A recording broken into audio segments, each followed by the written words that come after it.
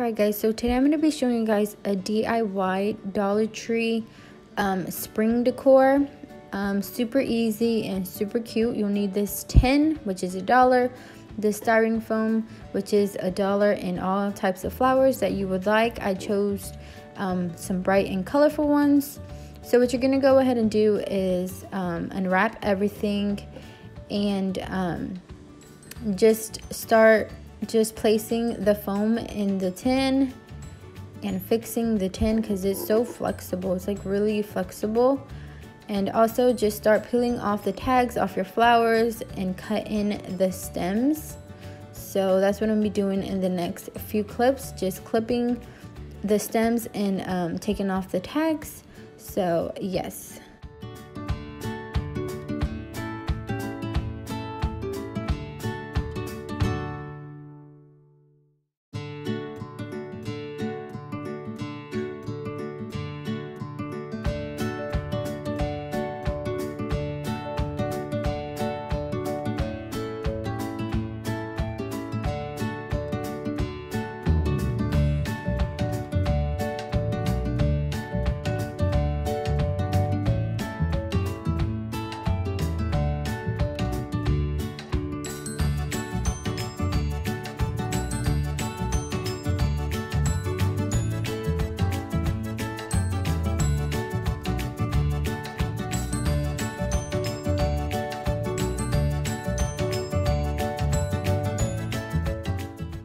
Alright, so after all that is done, just place in the um, flowers however you like in your tin.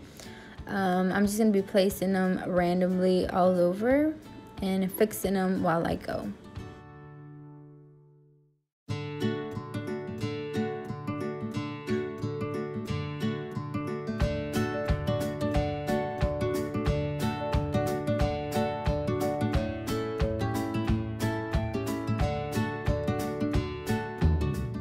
So I decided I wanted to add some, um, what's it called, yarn around it because I wanted it to look more farmhouse.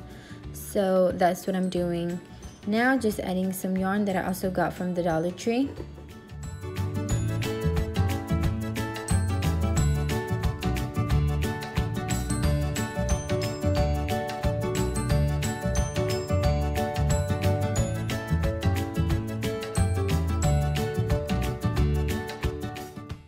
So you see it came out really cute. The flowers look so colorful and everything looks really pretty with the yarn but I didn't like how it came out so I got out my chalk paint and I painted it guys.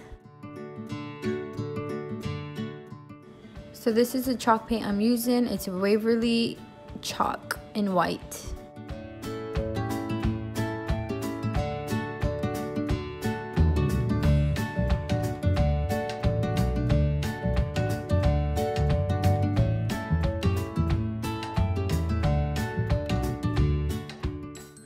So after I let it dry, I got some sandpaper and I just touched up a little um, edges to make it look more cute and more, I like, it made the flowers and gardens pop out really, really nice.